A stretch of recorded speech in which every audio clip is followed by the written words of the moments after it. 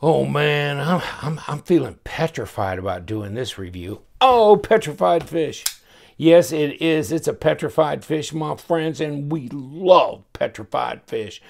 It tastes so good. Better than lutefisk. You ever had lutefisk? Go to that Lutheran church up in Minnesota. Or my buddy Linus lives in Sweden. I'm always like, he goes, that's not the Swedes. We don't do the, I don't know who it is. Maybe the, I don't know who it is. But um, the lutefisk, no, no, you don't want that. But you want this petrified fish. Yes, you do, baby. Deep carry pocket clip, supposed to be ceramic bearings. Well, we're going to take this apart. But look at this carbon fiber G10, and it's smooth. One thing that really impressed me about this one, and I've had other petrified fish brand knives, and I got mine on all, all, all, AliExpress, and I know a lot of you people are like, ugh bunch of junk from China, whatever. I mean, I've handled like thousands of knives, so I know a knife when I got one in my hand, and yes, this is a good knife, and I really like it. So I got this one instead of this crazy thing, and then like a micarta deal. So I guess you can get, so, and they all got the Böhler K110 blades, and man, did I send that in to get confirmed? I think I did. And yeah, it I mean it'll it'll read D2 on a PMI machine because it's the same the recipe as D2. It's just Böhler's, you know, recipe of D2. Okay, it's the PF949, which I forget all that kind of crap, but it was a rockin' 59.99. I'm going to show you some stuff in the box, really cool. So, customer reviews, five stars, of course, and here's your stats. 21 and a half uh, centimeters, 90 mil, so uh, three and a half inch blade, uh, almost four millimeter thick blade stock, blah, blah, blah. Hardness supposed to be 58 to 60. Don't know on that. And then you can have the carbon fiber in G10 or damask pattern plus whatever. Uh, then, uh, you know, they're saying it's kind of a bead blast on there and uh, ceramic bearings. I thought they said ceramic somewhere, but whatever. So this is a budget knife, right? Because it's a $59, eh, get that liner. That may be one of my little kind of peeves to this is you, okay, well, it, you kind of got to be intentional and you got to back up. Okay, so you got to back up in here. You don't want to be up in here and, and, and cut this loose. You want to be back here because here's where the detent ball still in effect so you need you need it right there. And then it's fidgety, okay? Then it's fine. You just, I mean, every knife's kind of got its own spot when it's a flipper with a detent ball to, you know, cut it loose and make it your fidget factor. This is fine as long as you back it up here. And the flipper tab is plenty tall enough to, to give you that bump in the thumb and let you know you better get the hell out of the way. Oh, by the way, why do you want to get the hell out of the way? Because you don't want your thumb to have that happen to it. That would be a bad thing. And so, and on, and on, and on, and on. That kind of thing. So, no, that would be a bad thing. Um, but petrified fish comes in a funky box like this. Um, they have a lot of different models. When I saw this one, I really liked it. Okay. I like this design. Do you not like this design? I mean, it, it, it does everything here, right? Um, it has piercing capabilities, kind of a swedge here for more of a reinforced tip. It has a nice belly here. It has a flat grind. So it can slice, it can pierce, it can do all that. You've got this nice go forward position, which I like. Now, there's a lot of people don't want a choil up front. I do. So for me, this is fine. I like this. Okay, control. I can get in here, middle finger right in this choil area. But if I want to back it up, I'm fine with first finger being here. The rest of this is neutral. See how neutral that is? Okay. Now, what will catch your attention about this $59 shooter is when you touch this, it feels so smooth, it feels velvety. not glassy, but kind of a velvety feel to it. It's weird. I don't think I've felt another knife recently that has this kind of velvety feel to it. Not, you know, I mean, really smooth. Like somebody's really taken some time to give this a seamless finish, which of course is not super aggressive grippy, but you know, and rounded these areas nicely. Now the insides are chamfered as well, so they're not sharp. You got a backspacer, just kind of standard black G10. Okay, nothing really fancy there. And you can see the layers in through here of the, you know, carbon fiber G10. Uh, there's your lockup, mm, 25 to 30%. I mean, you can see how that's machined there, so it's kind of hard to see the inside part of that lockup on there. But that's that's 30%. Drop. Now, take a look at the blade a little closer, okay? Check it out. See? Look at this. You notice how it's crowned here? I mean, who does that on like a $50 shooter? I, I don't know. Uh, I can't think of anybody. And most blades are, let me see, yeah, kind of squared off like this. It's squared off. It's my Spyderco. And this is not a $50 shooter either, by the way. But, you know, crowned over. Where's my, where's my Civivi? Okay. So there's my Vexor. So this is what most, I mean, they're not sharp, okay? They're chamfered off over here, but they're, you know, just straight across. But look at that. Wow, that's nice. I mean, that's nice. Uh, kind of gives you a total feeling of uh, feeling good in the hands, which begs another question, by the way. Uh, you know, how fat is this? Okay, not that. I was going to guess closer to six tenths, but it's not. It's 13.7, so it's it's not it's not slender. It's a 0.53. Let's look at the blade stock. Well, it's 0.14, so it's got to be close to yeah, 3.6, 3.7. Okay. So that's true. Uh, you know, satin flats. Uh, look around. Um, I don't know. Yeah, I'm going to guess. I think I can see, yeah, where it's uh, skeletonized liners in there. Pocket clip. Well, there is an obvious fail there. Those screws should be flat, shouldn't they? I mean, like that kind of flat. See? That's flat and that's not. So we got the big, you know, muffin tops there, right? And get them a quick trip. Muffin tops. But uh, but we've got it, you know, embedded into the scale, which means it's right hand only. There's no left hand option. Lanyard hole, okay, that's good. And yes, it's placed correctly. And yes, I think this knife needs one. Also, for a little breakup of this monotonous pattern here, but is it billboarded too much? Nah, nah, not really. Nah, it's okay. I thought I was reading something there, but I'm not. I'm just, it's just goop here. Um, so yeah, and how much does it weigh, my friends? And what's the length? And I already told you that, three and a half inches. Um, probably eight and a quarter overall. So 125, and let's go back to, that's grams, by the way, 4.42 ounces. Okay, that's not bad. That's not bad. Not too shabby. Um, well, uh, we're at 3.5 up here. So, you know, 90 millimeters. Okay.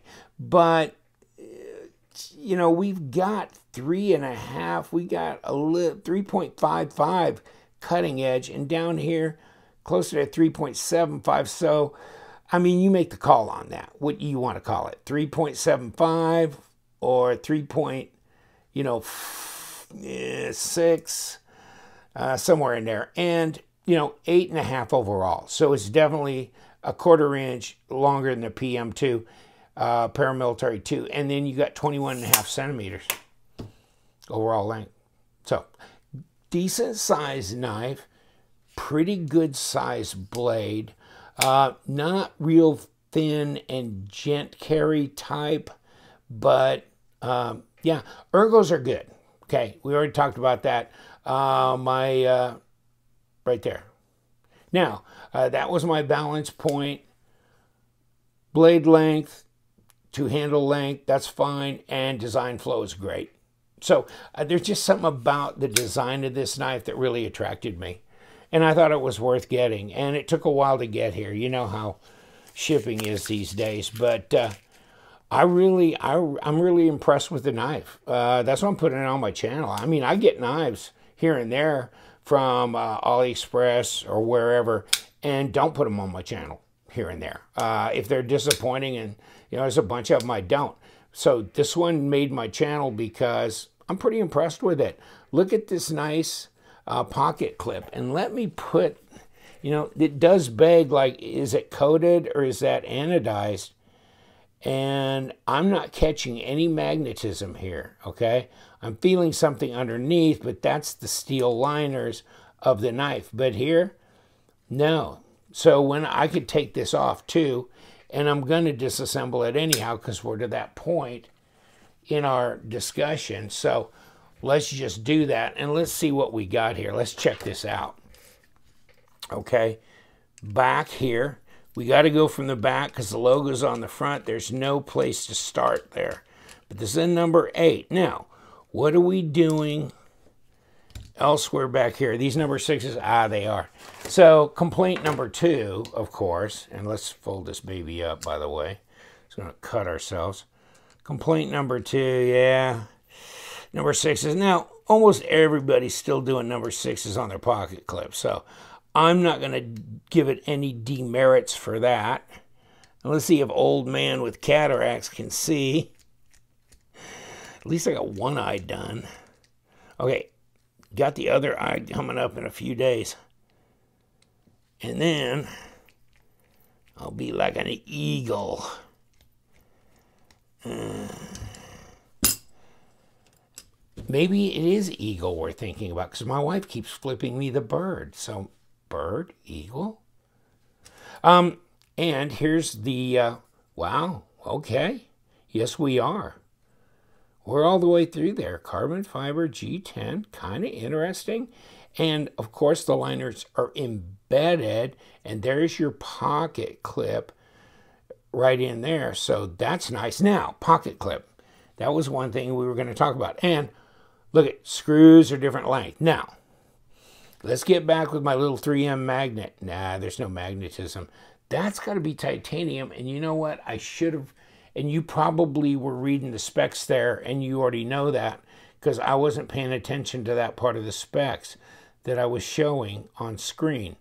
But that is a titanium anodized pocket clip. So, okay. And these are not titanium. These are steel ceramic detent ball, and it's definitely skeletonized. Next. Okay, so we got ceramic bearings, including them little babies that just fell out. Okay. Bingo Bango. And of course, you know, we've got skeletonized liners on the other side, etc., etc. There's your stop. Blade stop here. Okay. And let's throw my pivot on the floor. All right, Aru. And yes, we have a completely D-shaped pivot. So a lot of things they got right. Body screws need to go to number eights. Um, and I can't expect that out of the pocket clip. And the pocket clip being titanium anodized, okay, that's a plus. This D-shaped pivot, one piece setup, I like. That's good. Okay, so that's a plus. Ceramic bearings, ceramic detent, that's a plus. Let's take a little closer look at this. Uh, looks fine. Pretty clean. There's not grunge, really. There's just my fingerprints and a little bit of oil rolling around. But other than that, nice kind of bead blast area along here. Really looks nice non-reflective. You know, for when I go on on my SEAL team stuff, you know, my assignments that I that I have to do still. Um, and yeah, nice. Okay, so we got our big mess. We're a big pile of parts. Not very big pile. Not very big at all. So what do we got? We got a little squared off area right there. Why? Well, I think you know why, because this is squared off too. So squared to squared. And there we are. And let's put some of them in there. Let's get the old KPL. Boom. Ejected that top. And let's go merry-go-round here. And, oh, let's throw our blade stop on here before we install the blade. Throw the blade on. And, of course, you can see where that stop runs its course. Throw a, another set of uh, bearings on here, and we're looking at them. They're looking straight up at us. And what do we need now? Well, we just need a liner, don't we? And that's, it's go time on that. So let's put the, uh, the scale over the top. Throw the other side of that crazy petrified fish right here. It's all good in the neighborhood and Easy breezy, my friends. Now, here we go with the partial disappointment situation here being number six screws, but there's plenty of other manufacturers guilty of the same uh, faux pas with number six. Just, it's just, I rarely ever have a failure on a number eight, but I round these off on a fairly regular basis. When you go to a number eight, you keep the, it's more pronounced here, and these will make better contact and not round off as much. So now I have kept these screws installed here longer to the back, shorter to the front because we're coming through here. So, and of course it's right hand only as we said before. Tap, tap, tap, and let them kind of drop in their hole. And uh, let's make sure we're not crossing threads. And we're not. And I jumped out of that one. Okay, I don't want to tighten it too much until I get this one put into position. And it's good. And this one, see, I jumped that a little bit. Got to push and make good contact when you're doing number sixes. But we're there. We're solid. We're centered. So it it did go back together pretty well. No hardware failures. I keep hearing from people in all kinds of different knives. Oh, stripped a screw. Top of it just fell off. Blah blah blah blah. I rarely have a hardware failure. Rarely have a hardware failure. And, you know, probably half of the hardware failures I've had were not on Chinese made knives. Okay, so yikes. Um, so I've been to Benchmade and Spyderco and stuff like that. Uh, but, yeah, okay. Uh, I think we're, we're pretty good here, actually. I don't think I need to adjust that pivot anymore. But just because I don't need to doesn't mean I won't. Okay, even nicer. Any play? No, no play, and we're centered. And last but not least, if you've already clicked out, you've missed the best part of the petrified fish. Bingo bango, buddy. What do you get with this? Check it out. PF 949 Warrior. And this is not just a cheap, you know what? Hold on, is that steel? Ooh, no, it's not magnetic. I thought this feels like titanium. It's not magnetic. That's all I'm going to say. But petrified fish, really nice tag. And then they give you this separate lanyard. At first I was like, what the hell? That's a land that that's not gonna fit this. And my buddy I was FaceTiming with says, uh, you are an idiot. yes. Okay, so um, and of course this is adjustable for size, but it fits right over your head. There's your dog tag dog boy. And um, oh, you get this card and a three dollar coupon. Okay. for your next purchase, I guess. And it comes with a tag through the through the um, through the lanyard hole, I believe. That's where it was when I got it, so I had to cut that away. And then uh, there's extra hardware. Go figure if you want to go all black. See what I'm saying? You can put black because you may want to do that with, you know, with this carbon fiber stuff. And of course, you've got different styles that you can buy as well. Okay, then you get a microfiber cloth. Then you get this to where you can do that as a keychain instead of a lanyard. See what I'm saying? So hold on. How much gear do I get with this knife for 59 smacks? There you go with that, that. I get the lanyard. I get a coupon. I get a microfiber. Uh, I get a whole set of hardware to flip it the other way. And uh, that's, that's, that's a big ass mess, isn't it? Yeah, it is. Where's room for the knife? I can't remember how it fit in there, but it did. And then it goes over the slider like that. So, just saying, petrified fish. Interesting knife, that's for sure. And I like it really well. Cool, huh? Yeah. It, it, it's fairly fidget friendly, this, this liner. Uh, takes a little getting used to. It's not as pronounced. They're not giving you a big differential in height here. So, yeah, be aware of that. It does uh, demand that you think about what you're doing here when you're fidgeting with it, at least for the a few initial flips. And after that, you can go mind numb and still do this and have fun. So, and having fun is what it's all about with the knife world because we love them knives. So, you guys, stay sharp.